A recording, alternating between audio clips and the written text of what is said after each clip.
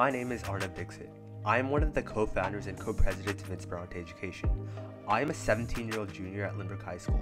I am extremely passionate about computer science, as I hope to expand upon my previous endeavors in the field.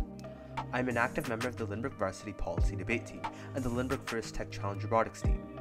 I am interested in giving back to my community as much as possible.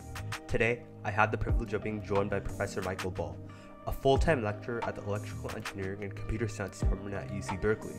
In our discussion, we discuss a wide range of computer science related topics, from applying to college as a CS major to the different applications of programming skills in society and in the industry. Professor Ball, we're glad to have you on the show. Yeah, thanks for having me. This should be fun. Yeah, for sure. Uh, first of all, how has your quarantine been? Not too bad. Uh, fortunately, I have uh, you know a, a reasonable space. Um, I've spent, I suppose now it's been yeah just over a year. So a lot of that's been uh, actually setting up my environment to do things like remote teaching, recording videos, and so on. So uh, I've built up kind of a small studio in my apartment. Have you spent more time with your family? No, probably less than normal. Um, I went home over the holidays, um, but otherwise, and I saw them uh, for a couple days for my birthday last year. But um, I haven't been home very much. But I'll probably be going back in a few weeks. So uh, now that uh, I have, or I'll get my second shot soon, but um, my parents will get their shot soon as well, and so um, hopefully this summer we're going to uh, we're we're figuring out what we can plan that uh was not you know was upended last summer, so uh, that should be fun. Yeah, sure. It's like that for all of us. Yeah. So you live away from family then, right? So I grew up in SoCal. Um, Oh, and um, I moved up here.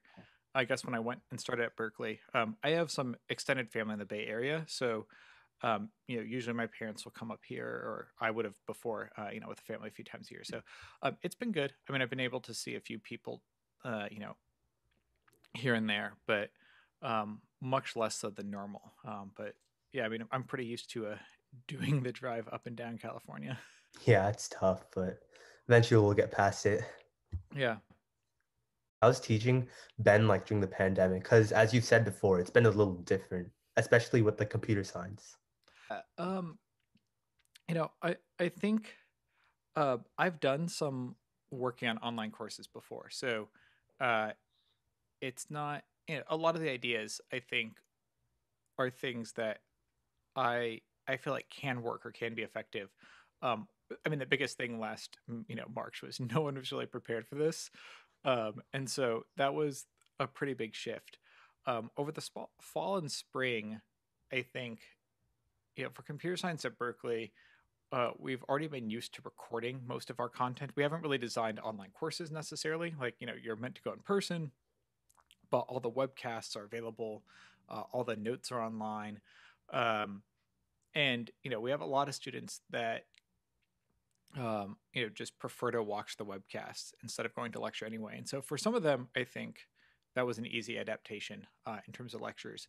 Uh, not seeing your TA a few times a week or all your TAs, I guess, over the course of a semester, um, you know, that was really hard. And doing group work remotely, um, all these things can be done. I think, you know, we've mostly learned how to adapt. Um, but that was a pretty big shift. And so I know, you know, for a lot of teams, just trying to uh, rejigger team projects um, to be remote. And then in the fall, the real big challenge is um, somewhere between 15 and 20% of Berkeley students are international students. And so, um, and then you have another uh, 10 to 15%, uh, I suppose, that are uh, uh out of state US uh, citizens. So, um, you know, a three hour time difference, something that you can probably make work without too much hassle, um, especially if you avoid, you know, too late or too early in the morning. Um, but, you know, this past fall and spring, I've been working with student teams who have uh, one or two members in China, someone in Singapore, a couple people in the Bay Area, and then someone on the East Coast. Uh, like literally five of the six team members are in different time zones. Um, and that's been a real big challenge because there's just been no you know great solution um, for things like that. And I've spent some time working in industry with you know companies who are distributed internationally, and I collaborate with people uh, in Germany and Spain. And when you work with the style where you can meet infrequently, you really do learn how to you know make it work. Um, but for you know for for projects and just meeting peers, that's been um, I think one of the hardest things that I mean by and large you still make it work. You you get to meet new people and work together, but uh, that that's been a real big challenge. Um, and then aside from all of that, um, I you know I I think that uh, just the exhaustion of a quarantine itself is uh, something that we really don't know how to deal with um, as a society. And at the beginning, I think we're sort of all in this together kind of moment. Um, wow, that sounded very High School Musical for me. Um, but like you know, we have um, we had a collective feeling at, at the beginning of last year of like, okay, we'll get through this. And what I really saw is in the fall is a lot of people just feeling really tired. Um, and Christmas, winter break kind of helps with that. But yeah, the biggest thing I see now is everyone is kind of just more worn down than normal. Um, and this week, right now, as we're recording, is our spring break at Berkeley. And so I think, you know, I mean, everyone's always looking forward to spring break. Um, you know, it's a nice time of the year, especially after the exciting time. But I think more than normal, uh, everyone was feeling the need uh, for a break. And so, you know, I think hopefully, uh, if you know everyone can sort of play their cards right, um, and you know, kind of hold it together for a few more months. Well, you know, like everyone is just really that I know is looking forward to the summer, um, and that's kind of the optimism right now, keeping people going. yeah, for sure. Quarantine can very like very like really be a lot of um you can encounter a lot of difficulties and it could be hard to focus. Even at yeah. me as a high schooler, I noticed that like I can't as well like focus on my studies and um it's it's a lot harder to. And one of the things for me, and like one of the reasons that like, you know, I enjoy um particularly university environment, but I'd say like why I enjoyed high school more than I just enjoyed well, to the extent that I remember like, you know, enjoying elementary school, but like you have this movement throughout your day. Um, and one of the things that I found tiring about being a software engineer, um, is just sitting at your computer all day long. Like I love writing code. Um, it is really fun. I, I mean, this week I've been working on some projects that I couldn't get to, and it's nice to just kind of get distracted for a few hours, right, on any kind of project that you enjoy. But day in and day out, just sitting at your computer without someone forcing you to get up and walk around, like you know, the, it'll be like four hours in a day before like the furthest walking I go is to the fridge, which is not very far. Um, and I think for me, that's been the biggest thing that in terms of like daily movement that I miss. And then just, you know, the interaction of uh, chatting with people sort of uh, before and after class, uh, just meeting someone new in the hallway or, you know, office hours. Um, all those things are possible, but so much more strained. And that was where I think a lot of energy uh, you know, everyone kind of pulled on each other's energy. Even if you're an introvert, I think you found that there are times where you got that energy uh, from from talking to other people or just, uh, you know, working, solving a problem together, whatever it might be. Yeah, for sure. Um, also, like you said, that there are a lot of students who prefer like videos or not actually going to in-person class. Uh, would you say that for those students, it's also um, substantially more difficult for them to learn, or is it um, maybe normal for them? I mean, I, I think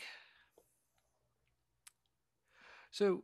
This is what this is one of those hard questions. Um, you know, I I think by and large having the videos uh, is, you know, from a content perspective, it's fairly similar. Um, like at Berkeley, we've definitely, you know, uh, especially when things got uh, really tense in the spring and then at various times in the fall, um, you know, we would adjust schedules. And so I think every class has skipped, you know, one of the extra topics that they might normally want to get to or, or reshuffle things. Um, but by and large, you know, the delivery of content, um, if you're lecturing, is not too terribly different if it's sort of just a one way thing. Um, of course, like most good classes are not just one way, you know, delivery mechanisms, right? Um, and so what I've seen is a lot of students are really able to learn the stuff that they want to learn or that they need to learn. Um, but it, they either feel like it's taking them longer or they're expending a lot more energy to do it. Um, especially in those places where the classes that I teach have a lot of group work, and uh, during lecture, we would normally spend more time, you know, just having students talk to each other for a minute or two. Um, and we do some of that, and it still kind of works. But I, you know, I think that the the sort of just cost to get to the baseline for certain kinds of activities is a lot higher, and so um, what I really see like is it feels like a lot of people are um, they're making it work, but it's you know taking a lot more out of them, and so uh, you kind of just feel more drained at the end of the day. Yeah, also like you said before, a lot of, of these students are like distanced, so it might be like hard to like get everyone on the same page. On the other hand, there's been a lot of really cool things. So like um you know, I've always thought of myself as relatively flexible on deadlines and accommodations. Um and you know, providing multiple ways of learning things and making videos available after the fact. Um, but I think that for a number of students, you know, things like just default enabling transcripts in Zoom, even though they're automatic and not perfect, um, or giving, you know, just saying like, look, we know there's a pandemic. If you need an extension, we'll make it work. Um, and realizing that like the world doesn't fall to pieces when you trust students to, uh, you know, sort of manage their own schedules a little bit more. And so I think there are a lot of positive changes um, that we've been able to make by just giving people more opportunities to learn or to turn in work. And my hope is that you know returning to normal uh at least keeps some of these positive enhancements which work you know they seem to work well for all kinds of students right? Like uh if something happens regardless of whether it's coronavirus related or not uh, having an instructor who can be like yeah look the syllabus this semester gives you extra time or something like that um, are really helpful uh, sort of uh, accommodations that we've made yeah i feel like it allows students to really just slow down a bit and learn the material and just yeah stay comfortable with it as well. My other question was regarding, you know, the content taught with hmm regards to computer science. Uh, you were earlier saying that it's substantially more difficult for students to sort of get on the same page now that everything is hmm online. But uh, since a lot of computer science uh, technologies are online itself, hmm um, are some things easier than others? So i think there's a couple pieces where um you know, uh, we've found uh, cer- certain types of work to be a little bit more easy. Um, and it, in in particular, when you're collaborating and you want to share a screen. Um, so one of the cool things is in lecture for one of my courses. That's um, at Berkeley. If you're interested in looking up, uh, it comes in various versions, but CS 169 uh, is, is the primary course. Um, and this semester we're teaching sort of a a more focused lab version, which is just the project component um, we can do things more easily, like pull up student code in lecture, and they can share the screen, or um, you know, just making it a little bit more easy to, uh, you know, like before you could, of course, you plug your computer into the projector and whatnot, but um, you know, there is some fluidity in having anyone be able to share their screen. Or in office hours, when I worked with students, um, you know, instead of just walking over to their computer, um, which I miss being able to do, it's also really nice to um, make it a little bit easier for for someone to share their work with more than just one person in that moment without it being you know such a big deal. Um, and even though i think we've all had to you know everyone's kind of learned what they need to learn about zoom um, in many ways it's still a lot easier than fiddling with video adapters and projectors. Um, so you know there's there's sort of mi- minor uh, enhancements there and then the other thing is for code um, i think the the hard part that I've seen is that um, there, you know, there are certain types of uh, sort of mechanisms where if you want to draw together, um, we've all found various whiteboard tools that kind of work, um, but they're not the same as being in person. And when you're collaborating with someone, um, you have all these tools, and it's just a matter of finding the ones that work well for you. Um, and I don't think there's like a universal set. And so I've definitely seen uh, teams who find it really easy to work together because they found either the whiteboard app or the ways that they want to use GitHub together. For example, if they're working on you know just pure code, um, or how they want to use Zoom as a team or something like that. And so um, those kinds of things can definitely um, be a huge advantage. Uh, I know a lot of students have found uh, pretty cool communities around various Discord servers that have popped up.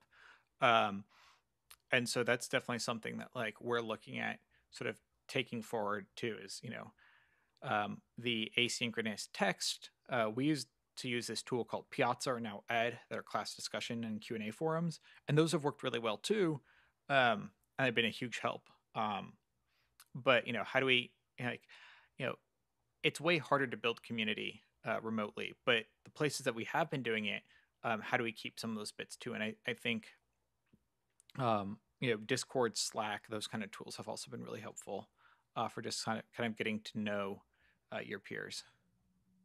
So more students are really finding ways online to just get to know each other. Or n- not just students at berkeley per se but like students around the world who have the same like interest um, especially with regard to cs correct? Yeah.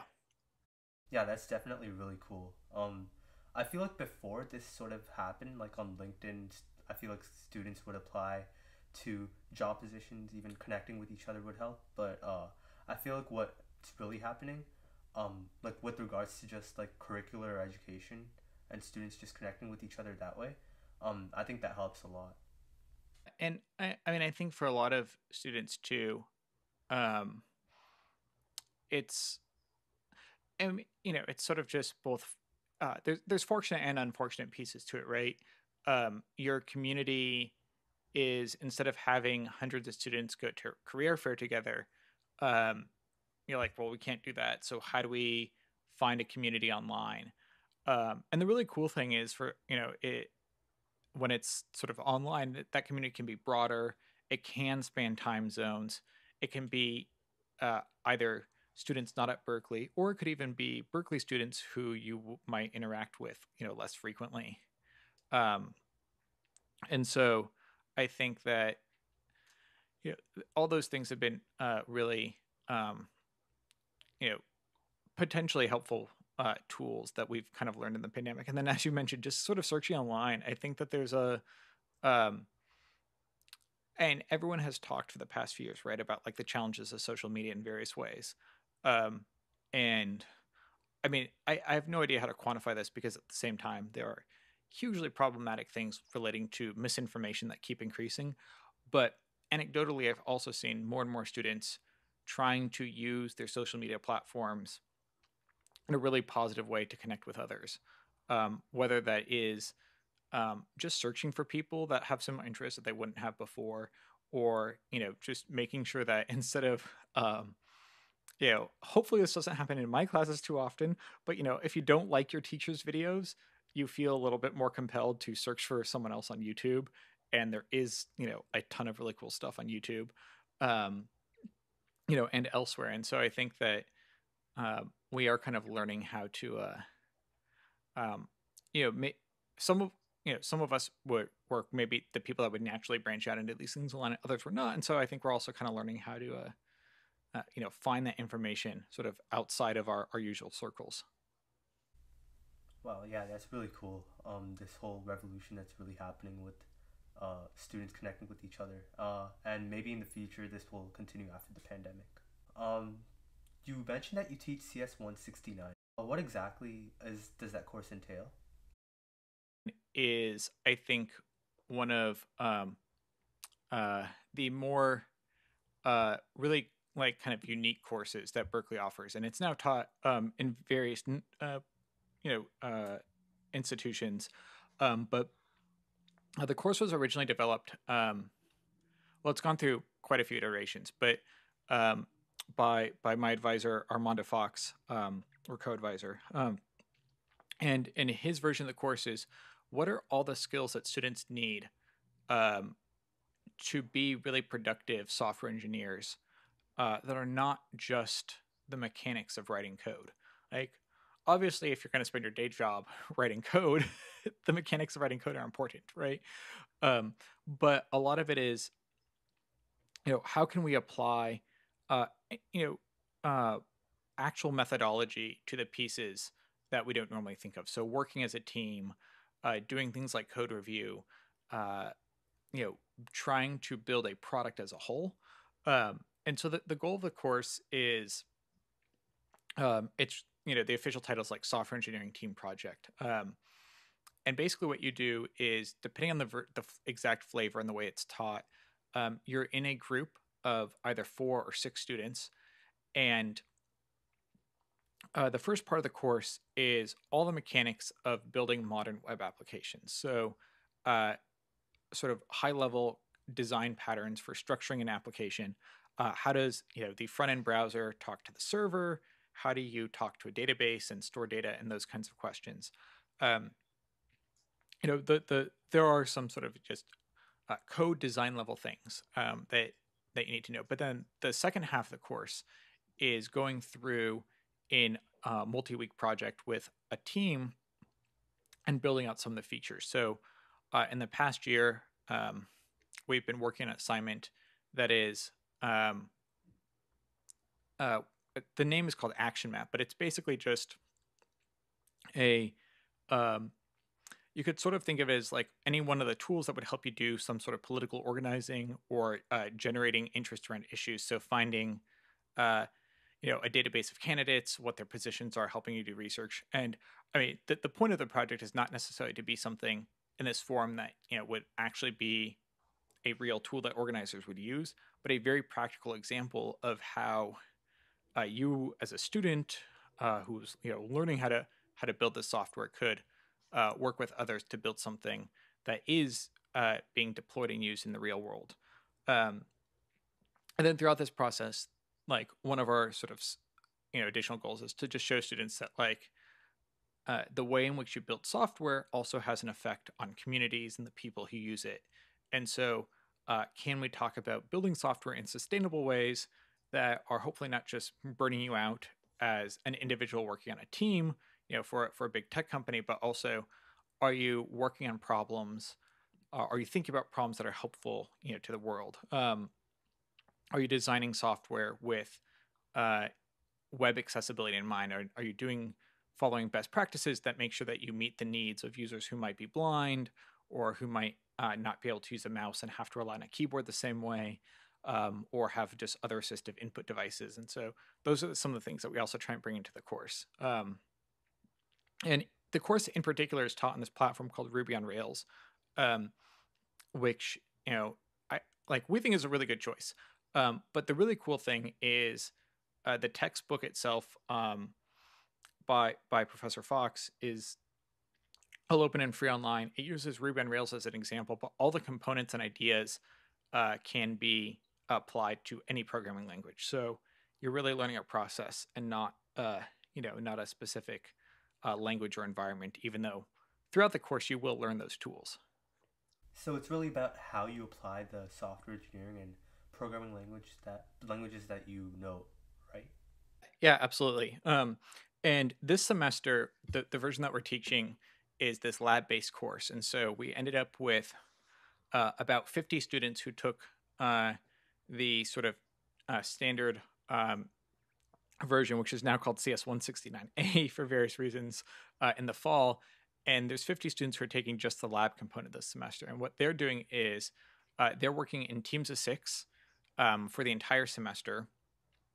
Um, and uh, all of their projects are uh, unique. So each team has a different project. They're working with uh, their uh, our teaching assistants. We call them coaches in this course um, because that's the metaphor that you should think of them as. They're helping you uh, each week build that discipline, uh, give you feedback on the, you know, instead of uh, your sort of practice regimen and your you know your form, um, it is your coding, your team mechanics, and so on but their projects are all with an external client. So uh, I am sort of the client uh, for a couple of projects where students, uh, one group is working on um, a tool for managing um, uh, a series of uh, professional development workshops and applications that I work on with others.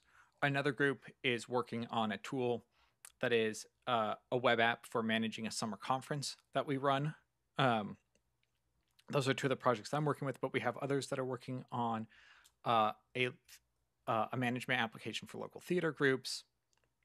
Um, a local birding nonprofit uh, wanted an application uh, to track some stuff. Um, I don't even know the full details of, of exactly what that uh, team is working on, but we try and find sort of local groups, uh, nonprofit organizations that need some you know, some software built that fits this mold of a web application um, that has a database that sort of illustrates the uh, you know some of the techniques that we want students to be able to learn. Um, and so the students work with them to define requirements build features uh, deploy software. And so the really cool thing is for a lot of these projects um, it's almost like an internship as a class in that uh, they you know in the first month they go from ramping up an entirely new piece of code um, to working with their client their coaches and that code will hopefully be deployed to production um, and get used by uh, by people outside of the class with you know in a month or two and that will happen uh, you know a few times throughout the semester too. So the class sort of functions like a company right? Where you have a development team a testing team and a production team as well correct? Yeah a little bit. Um, in the case of sort of different teams each student group um, would sort of serve as all three functions of what might happen on you know in a much larger company um, because we want them to get that experience. Um, but it does uh, in many ways um, it's sort of like a, um, a you know like a series of companies. You can almost think of it you know some people have described it a little bit like a consulting agency where uh, you are um, you know you're part of a bunch of teams, and those teams at your consulting agency are working on uh, what are pretty different projects, but maybe around uh, the same kind of domain or tools required. And so, um, yeah, those are definitely kind of ways um, that people have described it. Um, you know, a lot of students go on from completing the course um, to uh, you know take internships, so they really get to apply things. Or we have students who have done an internship um, and you know they wrote a lot of code at their internship um, even if it was at a big tech company but didn't necessarily get some of the training other than just the like you know how do you learn how to write code? Um, and so you know one of the things is the course really gets to fill in all the missing pieces uh, even for students who have had uh, some of that prior experience. Yeah it's really cool because you get to apply a lot of the coding experience that you have to many different things. And I think that's really the beauty of computer science that it has so many different applications and so many different fields you can really specify into get involved in um, applying your knowledge really. So the class sort of functions like a company, right? Where you have a development team, a testing team, and a production team as well, correct? A little bit. Um, in the case of sort of different teams, each student group um, would sort of serve as all three functions of what might happen on you know in a much larger company um, because we want them to get that experience. Um, but it does uh, in many ways um, it's sort of like a, um, a, you know like a series of companies. You can almost think of it you know some people have described it a little bit like a consulting agency where uh, you are um, you know you're part of a bunch of teams, and those teams at your consulting agency are working on uh, what are pretty different projects, but maybe around uh, the same kind of domain or tools required. And so, um, yeah, those are definitely kind of ways um, that people have described it. Um, you know, a lot of students go on from completing the course um, to uh, you know take internships, so they really get to apply things. Or we have students who have done an internship um, and you know they wrote a lot of code at their internship um, even if it was at a big tech company but didn't necessarily get some of the training other than just the like you know how do you learn how to write code? Um, and so you know one of the things is the course really gets to fill in all the missing pieces uh, even for students who have had uh, some of that prior experience. Yeah it's really cool because you get to apply a lot of the coding experience that you have to many different things. And I think that's really the beauty of computer science that it has so many different applications and so many different fields you can really specify into get involved in um, applying your knowledge really. Absolutely. I mean, this is you know sort of broader than the than uh, CS 169, but um, you know the thing that I talk about students like the most powerful thing about software is that you can make a computer do whatever you want, which is both good and bad. um, but you know if you're teaching a physics course um, and you don't have software, you're relying on the real world uh, to model things out. And if you're teaching a chemistry course um, and you want to demonstrate something, you either need to find uh, you know those chemicals or an alternate version of them. Um, you know, a biology course, you need uh, actual physical animals to do dissections. Uh, and software lets us sort of emulate all of these things, or it lets us practice music without actually having an instrument or, you know, uh, like, uh, you know, uh, keyboard synthesizers are uh, a great tool for, even though it's not the same as playing either the guitar or drums or a saxophone or whatever, but you could play those notes on a keyboard perhaps and then hear them as, you know, an entirely new instrument. Um, and no matter what the discipline is, uh, one of the things that we sort of just hope to think about is, or get students to think about, is the ways in which you can apply software to solve real problems, um, and and that you know the the limitation is really just what is your creativity in in making the code do what you want it to do, um, and to you know a smaller extent for certain kinds of problems, there are sort of practical hardware limitations or computing processing limitations. Um, but for the most part, you can get really far without anything super special. Uh, and what we really want students to come away with in, in this case is um, so much of the you know the jobs that we see students take on after graduation are um, are modern uh, software as a service companies. So uh, not just the social media companies, um, but you know whether that's tools for uh, teachers, doctors, uh, could be social media, um, you know, that, that they really think about trying to build software in a way that is, uh, you know, really beneficial to the users. Um, it's not just, I mean, you know, there, there's value, of course, in, in advertising driven businesses, but maybe that uh, people take a second look and figure out what other opportunities they might have uh, to work on some cool projects. Yeah, for sure. I think that's really the beauty of computer science that there's so much you can do and like a lot of ways you can, mm-hmm. actually a lot of different types of projects you can make. Um, this leads us to our next question, really, as to why do you think you decided to study computer science and maybe become a professor in teaching a computer science subject? Yeah. Um, so I think for me, it was, I always thought computers were kind of interesting, even when I was young but I don't think I knew for certain that I wanted to really study computer science. Um, and I think it's because I, you know, I enjoy coding, I enjoy the hard problems, but theory without application um, is not something that really drives me. Um, for a lot of people, um, you know, theory at all. Like there's a certain group of people where theory at all will kind of turn them away. Um, and there's a certain group of people where, uh, you know, theory just for the sake of theory is uh, their goal. And both those things I think are totally valid, right?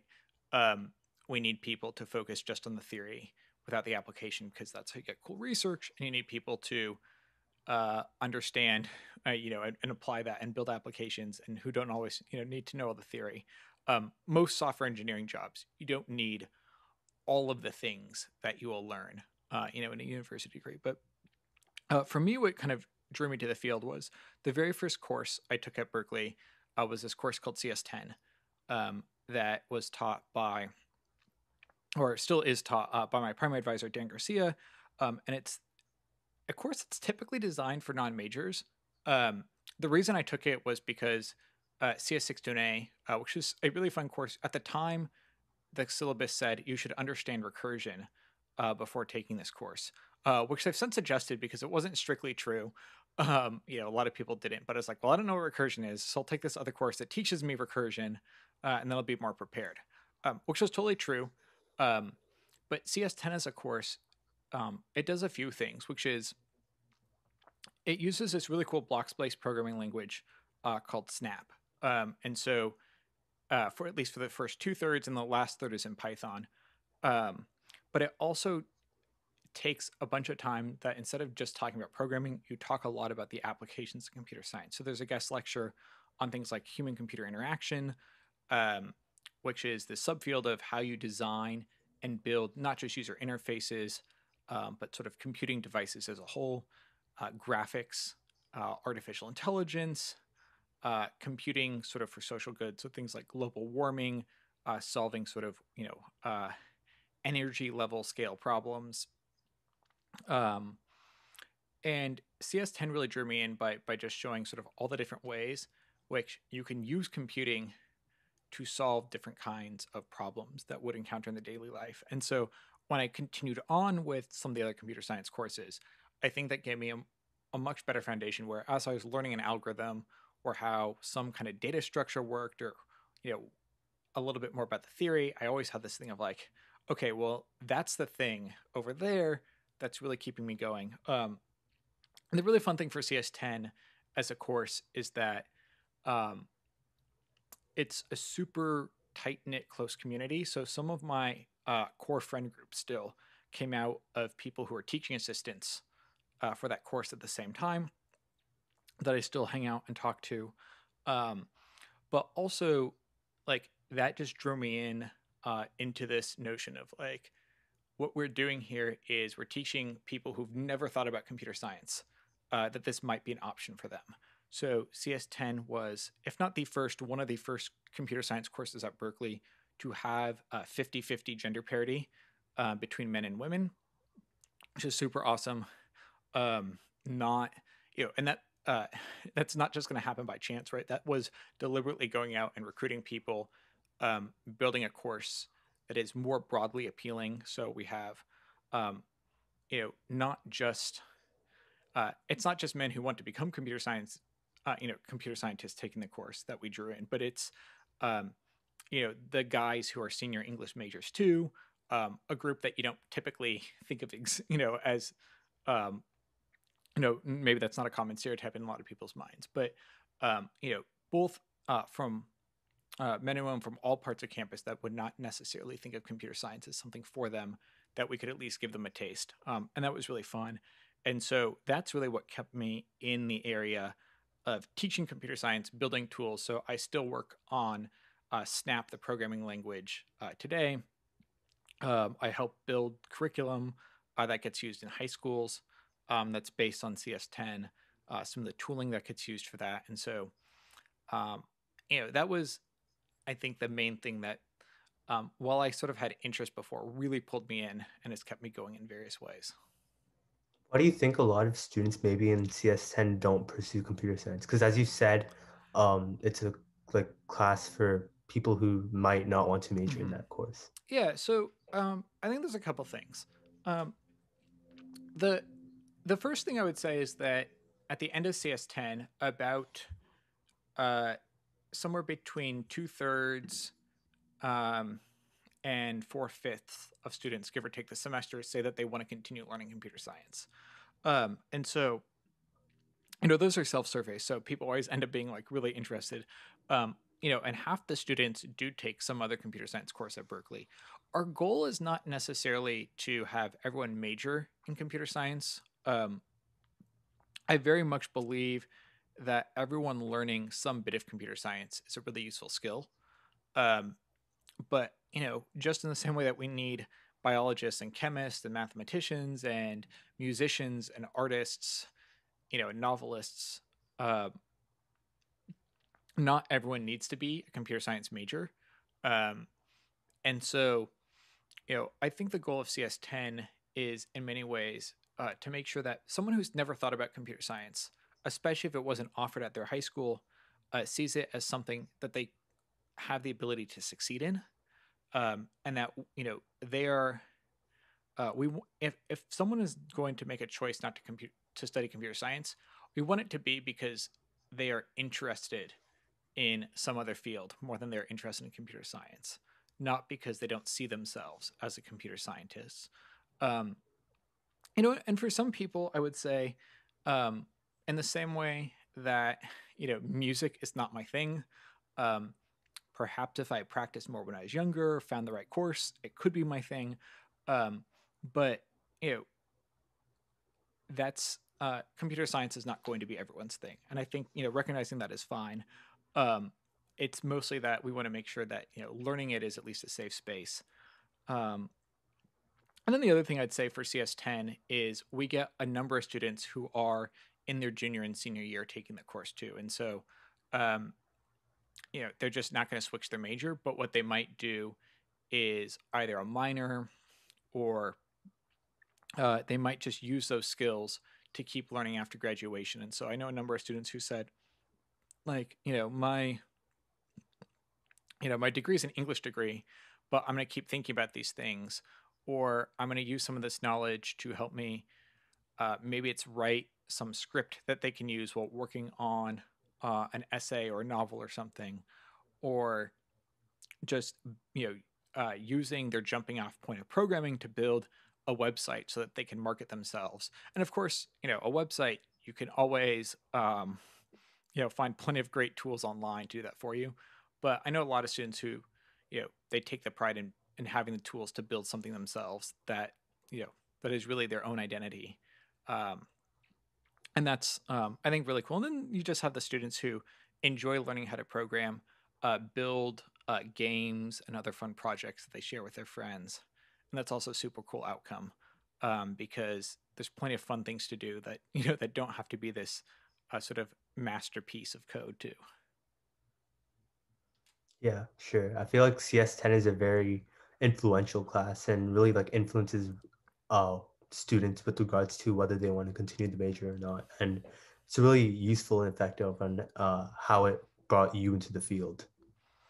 Yeah. Um, yeah. I, I mean, I think that, um, you know, it's, you know, everyone needs um, sort of their own path, right? And it's not going to be everyone's cup of tea, but um, it's a path that definitely serves a lot of people really well. And I, and I think the really cool thing now is that um, with a this uh, uh, in collaboration with uh, some folks at North Carolina State University um, and this group in Boston called uh, EDC, um, we've been developing for the past ooh, uh, like almost eight or ten years now uh, in various forms a really nice high school curriculum.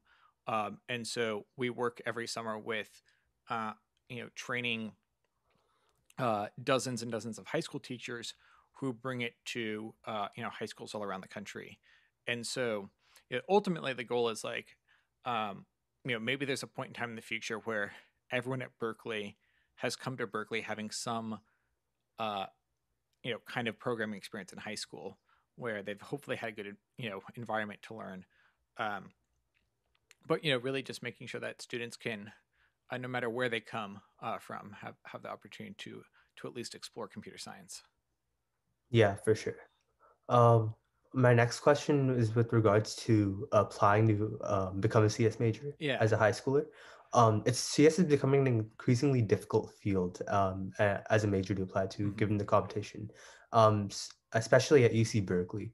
Um, so, what would you maybe suggest to a student who wants to major in CS but is you know, really daunted by the competition?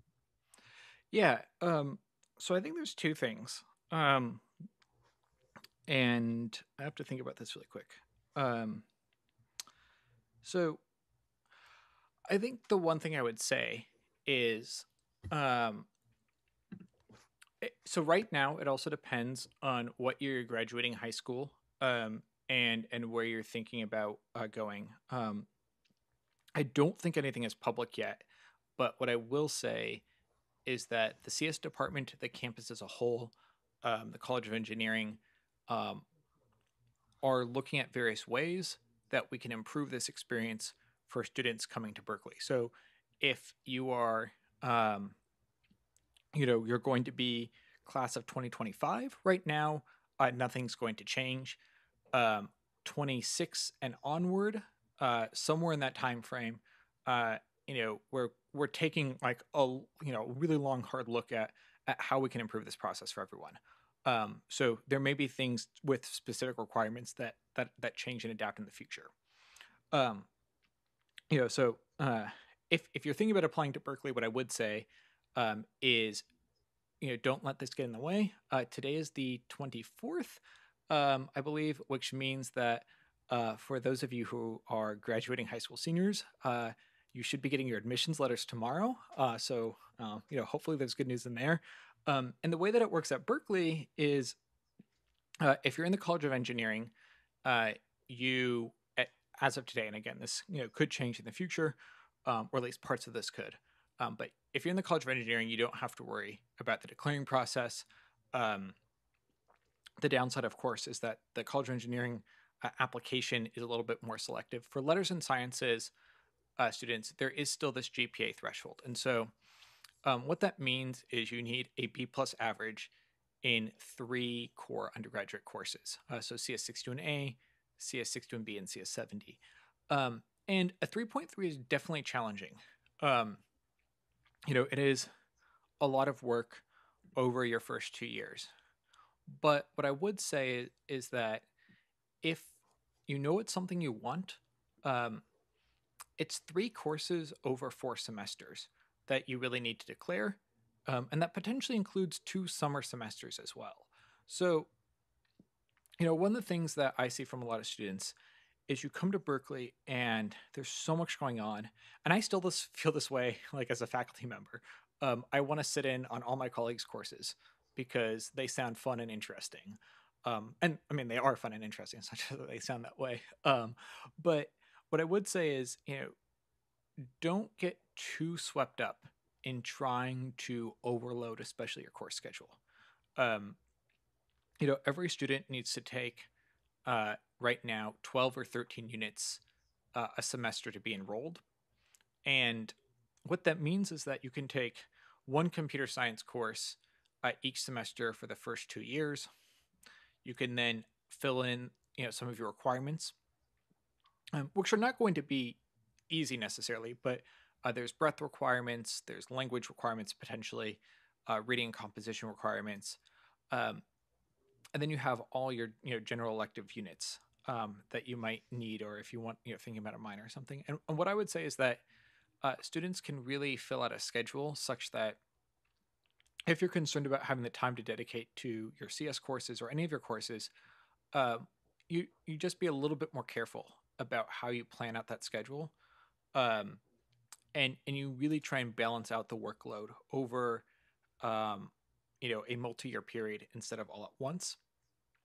And that could mean taking a course like CS10 uh, before taking a course like 61A to give yourself more time to just uh, you know get familiar with programming. Um, basically, CS10 conceptually covers all the material that CS61A does, but not in Python and at a higher level. So, um, you know, because it's designed for non-majors, uh, it's sort of you know what like what are the things to sort of whet your appetite? Uh, what are the things to get you started to read more? Um, know, that's what I'd say there.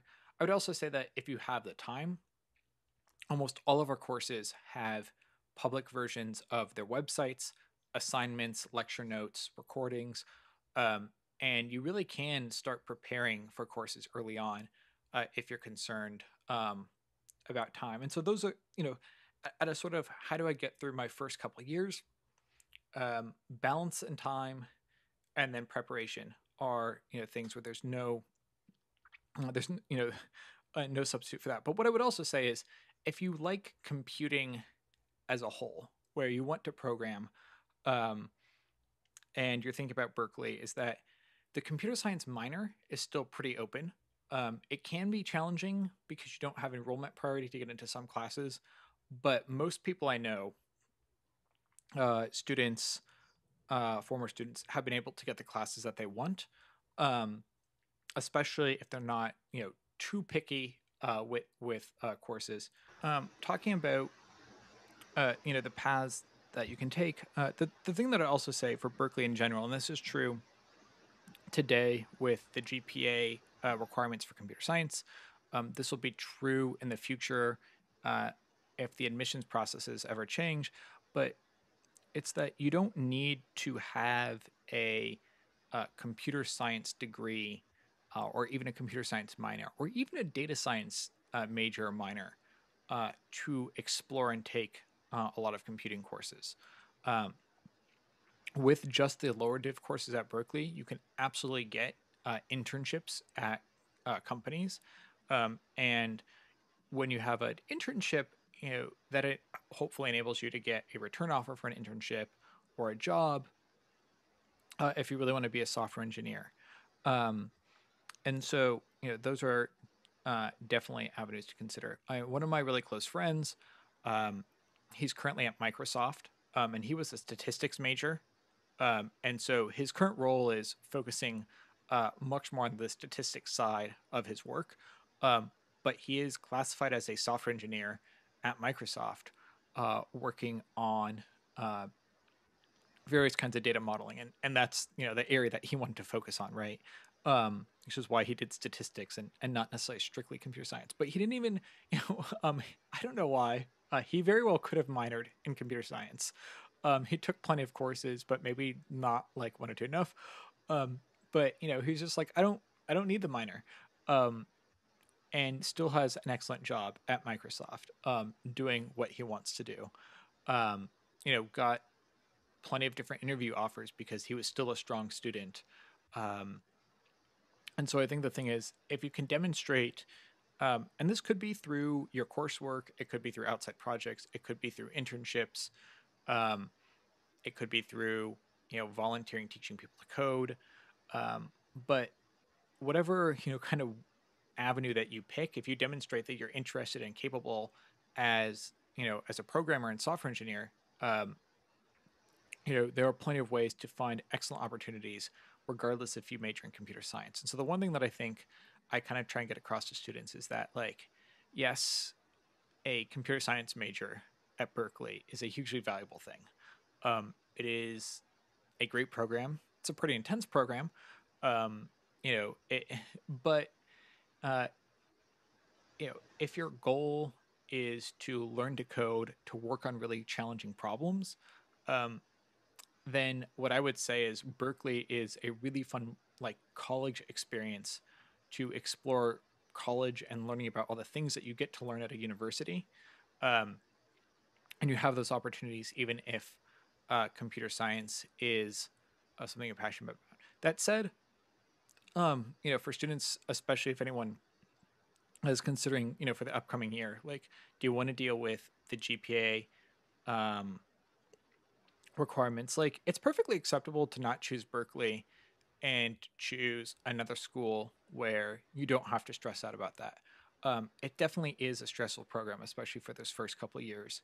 Um, but I would also, you know, say it's just it really is your priority. If you know that computer science on your diploma uh, is the yeah if that's what you want um, then go for that um, and if that means going somewhere other than berkeley because you will feel more secure or more comfortable or less stressed um, that is a totally valid choice too. It really just depends on uh, what your goals are. If your goals are to just learn computer science um, you know if your goal is to perhaps stay in the bay area of california um, and learn computer science versus uh, you know pick any other top cs program um, you know somewhere across the country and learn computer science like you would have to decide you know would i rather be guaranteed a computer science degree at some other university but not be in an environment uh, you know i mean it could be an environment that you could thrive on um, but you know pick your priorities then and i and i don't think there is a universal ordering of of those priorities um, you know for me like Berkeley was a great place to be. Um, I love the Bay Area. Um, I love being close uh, to San Francisco and Oakland as places to go and visit. Um, you know, um, it's a politically fun environment. There's lots of activities outdoors to do and so on. Um, I could have been happy other places, but like, I, you know, I think for me that environment was the bigger thing um, that that I wanted. Um, and if you figure out what your priorities are, then you know, and that's something you'll have to do no matter where you're you're you know deciding to apply to college or uh, what your degree is. But um, if you figure those out, then I think things will fall into place. And and then to just recognize that like diplomas are important. They are a super useful thing. Um, you know, I don't think I would be here. Uh, you know, like having Berkeley on my resume helped with getting my first jobs. It helped with you know other faculty members well essentially they trust themselves and they hire former students um, but right like that is uh, it, you know it's a, it's a valuable uh, brand in itself um, but it's not the only option too. Um, and so uh, I would just keep that in mind uh, as well. That no matter how you know how it seems today, that there are there are many paths to uh, computing or otherwise careers, and there's many ways to learn programming that aren't strictly just uh, computer science on your diploma. Yeah, especially preparing in high school itself for um, majoring in college in computer science is really valuable. But I noticed that a lot of students don't necessarily know how to like prepare adequately in high school for mm-hmm. computer science in the industry or just mm-hmm. in college. So, what would you maybe recommend for students who um, are struggling with that? So, I think there's two things. Um, I think preparing is always, um, you know, it's a tough thing, right? Because um, you need to find you need to find uh, content and exercises and activities that are sort of at the appropriate level. Um, if you have a computer science course at your school, um, no matter sort of how hard or how easy it is, um, it's definitely something to check out. Um, you know, it doesn't need to be an AP computer science course. Um, I think starting out any computer science is better than no computer science if you're interested in, in preparing. Um, but the thing that I'd say in general um, is to find an activity that um, you reasonably think you could build um, and then start working on it. And so that would be, that could be a game. Um, you know, that could be like, I just want to build a version of Sudoku. Um, and then, you know, that could be, I want to build a personal website. Um, and all of these tasks will have varying levels of sort of how much computer science theory is in them. So, a game, you might actually, you know, one of the ways to make a game interesting from a computer science perspective would be to add in some element of the computer making a move and playing that game. So, you could, uh, instead of just building a game that lets you play Sudoku, you could build a version of Sudoku where the computer tries to solve the game. Um, or you could build a version of Sudoku that generates puzzles. Um, you know, those those are types of tasks that will give you a little bit more of the computer science theory. If you're building your website, you know, how can I do something um, that exercises a little bit of the programming aspect? So building something really interactive with JavaScript instead of just a bunch of text could be an example. But what I really say is to just start. Like, if you want, you know, there there are ways and activities like that to, to take it further but the most important thing really is to just say like let me build something. Um, you know do you want to build a mobile phone app versus a website? Either of those will be great starting experience. Um, they'll take you down plenty of rabbit holes that are challenging. Um, they'll take you down paths of dealing with obscure error messages and command line tools and you know kind of all all the all the joys of programming that are not as joyful uh, in some senses. Um, but the biggest thing while you're doing that is then you know when you encounter something, ask yourself like, why did this go wrong? Uh, what piece of information could I have used to solve this problem or avoid it? And instead of, um, you know, a lot of people when you're at a job and you have a deadline, you do what it takes to meet that deadline. Um, and that's sort of the reality. But while you're teaching yourself, is making sure you're saying, um, you know, before I continue on, do I really understand what just happened? Um, and that's that's the primary way that I would start preparing. Just because I think if you pick a task that is fun and interesting to you, um, you'll you'll be more likely to get get further than that. The second way that I would start preparing um, is really to go around to UC um, Berkeley's course websites and look at content. So most of the lecture videos are public. Most of the assignments are public. Um, the auto grading, uh, you know, and so the solutions are not always public. Um, but the really cool thing about computer science, at least, is if you say, you know, like uh, you're working on a function that, let's say, it like sorts of lists, right? Um, and if you're trying to work on this custom function to sort a list, you get to run the function, look at the output, and maybe the autograder is not going to tell you uh, if you don't have it whether or not the output makes sense, but you can probably read the output yourself and decide whether or not it makes sense. Um, are you working on a function to output some graphical content to the screen, right? well, does it look like the way you want it to look like? Well, um, you know, if your goal is to just practice, um, that is often plenty good feedback is to just look at the results um, and you can judge whether they're correct. And so, um, you know, I'd start personal and then look at course websites and assignments. Um, if you just Google UC Berkeley CS61A, UC Berkeley CS61B, uh, you know, those course websites come up. Um, it doesn't have to be Berkeley. Um, most other uh, large computer science schools, so Stanford, University of Washington, uh, MIT, uh, University of Michigan, Carnegie Mellon, right? Uh, Harvard CS50. All of these uh, universities have public versions of at least one or two of their CS courses um, that are intro courses. And so any of those are fantastic sources uh, to start learning from as well. I would say that most of them are designed to be taken, you know, in a university environment with, you know, uh, your peers and teaching assistants. And so, um, if you're just starting out on your own, uh, you know, maybe that's having a group of friends around, um, you know, to work on things together, um, or you know, some kind of a study group, or uh, doing it after you've taken on uh, some you know standard programming tutorials. Um, but they are you know they're available, they're free, they're fantastic resources.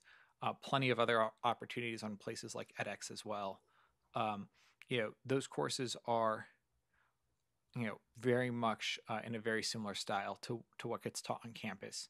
Um, it's just a different experience if you're not doing it, uh, you know, in a class during a semester with everyone around you. Yeah, for sure. I feel like getting early on hands-on experience is very beneficial for students to actually get involved in the industry. With that, I'd like to ask um, one final question. Um, what are there any final thoughts you have with, about uh, what all we've discussed yeah, I today? Mean, I, um, I think there's two thoughts just based on the questions. Is that, um, you know, related to like coronavirus as a whole, um, you know, it definitely sucks that there's a lot of things that people haven't had a chance to do in the past year um, you know, missed graduations, uh, school dances, um, you know, club meetings, whatever it is. Um, you know, I would say to like, it's you know totally okay to acknowledge uh, that it sucks to have missed those things. Um, it is also totally cool to be like, hey, I didn't have to deal with the pressure of school dances this year. You know, I know from a lot of students like, uh, depending on how you feel about that one, right? Like you're either happy or sad, and both feelings are totally valid. But then to recognize that, like, at the end of this, especially if you're going from, you know, a remote senior year to back in person college, that like, um, we've all learned different ways of working together and new tools and experiences, um, and to take uh, the good and the bad of what's changed in the past year and and you know really think about that for yourself um you know no one's it is no one's individual job to collectively solve or you know to individually solve like society's pro- problems of what we should take forward. Um but you know we should you know for each of us think like what did i do well that really worked for me? Um especially as you figured out how to learn right? Like were was uh you know were the videos that i was watching uh, the way that i like to learn or do i really need to be uh, in class in front of a teacher and make sure that in the fall and spring and going forward uh, you know as a student you think about that and really take it forward with you. And i think that'll be uh, um, hugely helpful for everyone because we've sort of had this natural experiment on ourselves. Um, and if there's something that you feel like you've been missing the past year like the second that it's safe to get that back whether that's in-person meetings um, you know face to what you know whatever it is um, like go for it. Um, and the second thing like related to just thinking about things is computer science um, it's so much more than any one thing or, or, set of things that you could learn like at a university. Um, and you know at a place like berkeley uh, you're really spending a lot of time learning skills that and tools and techniques where they're very uh, in some sense abstract they're things that uh, you will, uh, without even realizing it, use to apply later on. And so, what I would say is focus on the fact that if there's a problem that you want to solve, um, you know, that it's personal to you, start with that problem and then figure out how do I apply the things that I've learned? Or ask yourself, what do I need to learn to solve this problem? um, you know, who else do I need to talk to that has more information that can guide me in the right direction? Or, uh, you know, talking with people in communities or your own community if it's something, you know, related to that of like, what is the thing that I can solve? Um, and how can I apply this in, you know, in a really cool way? And that doesn't necessarily mean, you know, like, okay, I know how to code, uh, code will solve this problem itself. Um, but really spending time um, sort of thinking critically about uh, the different opportunities that you have. Um, and that is, I think, the really cool thing about computer science as a field is that uh, once you know how to write code, um, it's a really powerful skill that you can learn to use and deploy in in the right spots. Yeah, for sure. Uh, today, I really enjoyed discussing with you the true applications of computer science and just everything in general with regards to the pandemic and really with how students can get involved in computer science in college after high school. So thank you for interviewing with us today, Mr. Ball. Thanks for listening. Make sure to like our Facebook page, follow us on Instagram at Inspirante underscore education, and follow our LinkedIn page for updates on future episodes. If you're listening on Spotify, follow our Spotify as well. And if you're on YouTube, make sure to like and subscribe and hit the notification bell to get notified about new episodes. Stay tuned for our next episode.